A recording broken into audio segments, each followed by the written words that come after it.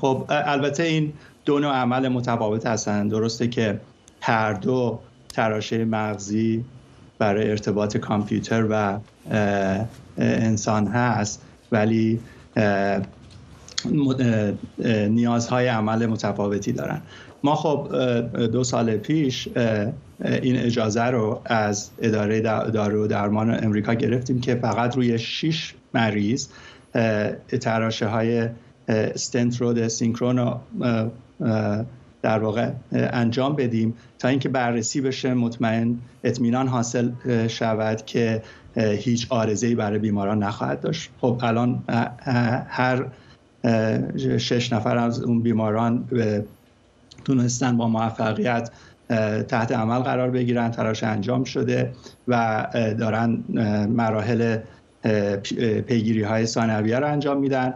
و ما امیدواریم که در یک سال آینده بتونیم بعد از اینکه نتیجه نهایی رو به اداره درمان و داروی امریکا دادیم بتونیم این اجازه رو بگیریم که در بیماران بیشتری این تراشه ها رو کار بذاریم و این بسیار خبر خوبیه برای میلیون ها مریضی که از فلج اندام رنج می‌برند و کاملا از دنیای بیرون جدا شده.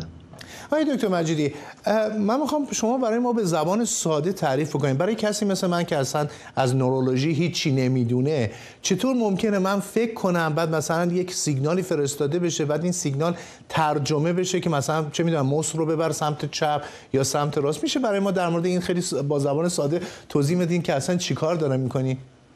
خب ببینید تقریبا 100 سال پیش بود که برای اولین بار نوار مغزی از یک انسان گرفته شد و اون موقع بود که محققان متوجه شدن به این دانش و دانایی رسیدن که مغز انسان قادر به تولید یک سری سیگنال هایی هست و فعالیت هایی هست که بسیار اختصاصی و قابل تکراره.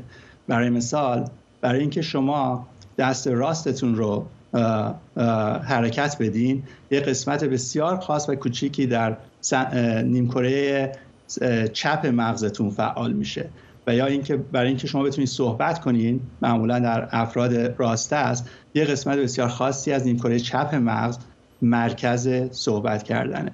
خب و خب این یه در واقع فرصت طلایی بود که همونطور که گفتم در دهه های اخیر به خصوص در دو دهه اخیر محققان سعی کردن حالا این یا این در واقع سیگنال های اختصاصی رو از مغز دریافت کنن بعد بتونن اونا رو از طریق کامپیوتر دیکود کنن بعد حالا تبدیلشون کنن به یه سری آوتپوت های ویژه. ببینید فقط در خود امریکا بالای 5 میلیون بیمار وجود دارن که از فلج شدید رنج می‌برن و کاملا دیسیبلن یه یه قسمتی از این افراد متاسفانه مراکز فرمان مغزشون درگیره به خاطر خونریزی مغزی یا سکته مغزی. خب برای اونا هیچ کاری نمیشه کرد.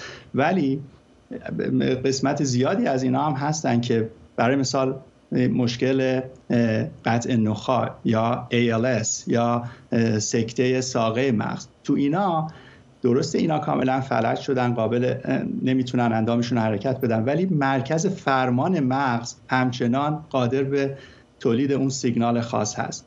کاری که تراشه مغزی می‌کنه اون سیگنال خاص رو همونطور که عرض کردم برای اینکه شما دست راستتون رو تکون بدین یک سیگنال تولید میشه که خیلی متفاوته از اونی که با, بلند کردن دست چپ ایجاد میشه. حالا این تراشه ها می‌تونن این سیگنال های خاص رو دریافت کنن.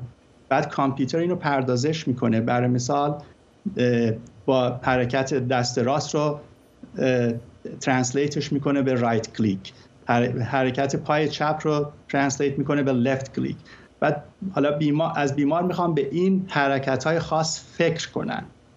خب بیمار قادر به انجام این حرکت ها نیست. ولی وقتی به اینا فکر می‌کنه اون سیگنال خاص در مغز ایجاد میشه و تراشه می‌تونه اونو دریافت کنه. انتقالش بده به کامپیوتر و بعد کامپیوتر اونو تبدیل می‌کنه به یه digital output که می‌تونه right click left click enter left up اپ داون این حرکات باشه. بسیار خبر خوبیه برای میلیون ها مریض که در سالهای آینده ما امیدواریم که بتونن از این دانش برخوردار باشه. حالا می‌خوام یه سوال از شما بپرسم. آقای دکتر حدود یک دقیقه بیشتر فرصت نداریم ولی یه ذره عوام پسندان است. یه سوال عوام می‌خوام بپرسم. برای اینکه در بسیاری از کتاب های علمی تخیلی می‌دیدیم که مثلا یه روزی خواهد رسید که تو یک قرصی می‌خوری یه تراشی تو مغزت کار می‌زنه می‌تونی به یه زبان دیگه صحبت کنی. با این توضیحاتی که شما دادیم ما به همچین روزی خواهیم رسید؟ شما اگه ECI یا تراش های مغزی رو در کنار AI و در واقع Artificial Intelligence بذارین تو ده سال آینده خیلی از اینا واقعا قابل تصور خواهد بود.